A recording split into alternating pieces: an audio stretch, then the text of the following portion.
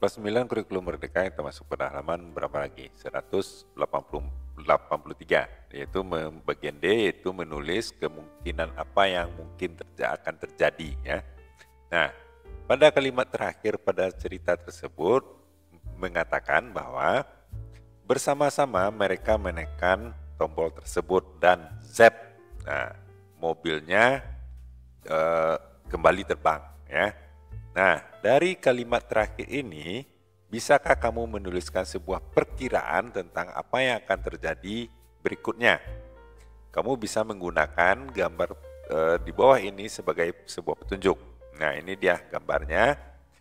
Kamu perkirakan ke mana kira-kira Profesor Mahmud dan Monita pergi. Yang per, e, kemungkinan pertama mereka pergi ke masa depan. Ya, ini ke masa depan di mana mobilnya sudah luar biasa bisa terbang ya mobilnya di atas ini ya atau bisa juga kemungkinan kedua mereka itu kembali ke masa lalu ke zaman dinosaurus atau bisa juga ke mereka e, kembali ke zaman atau ke masa depan atau sepertinya ini masa lalu ya tahun 60-an.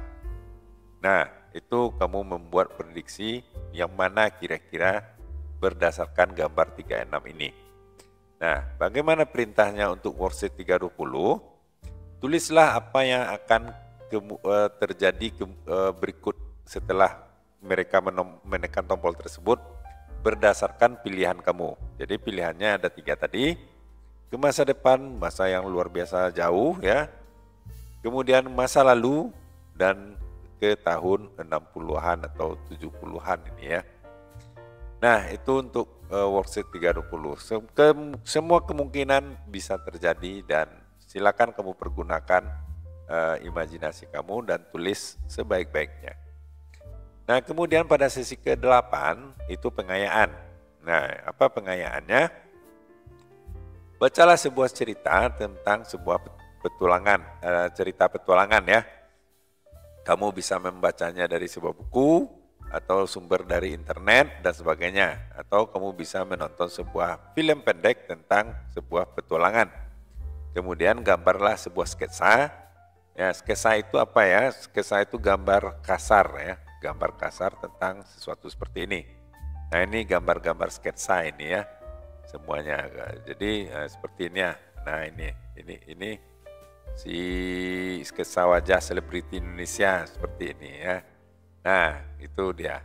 Kira-kira seperti itu sketsa. Tentang adegan yang paling kamu eh, paling menarik ya. Jadi kamu membuat sebuah menggambar sebuah sketsa tentang gambar eh, tentang adegan yang paling menarik pada cerita tersebut. Dan setelah itu eh, ceritakan ulang ya, cerita, kamu ceritakan kembali eh, cerita tersebut kepada teman sekelas. Mungkin bisa kamu berdiri di depan kamu ceritakan apa yang e, terjadi pada adegan apa yang terjadi pada sketsa tersebut. Nah ini gambar Profesor Mahmudnya ya. Nah barangkali itu dulu untuk kali ini. Jangan lupa subscribe dan like videonya. Mudah-mudahan bermanfaat. Sampai jumpa.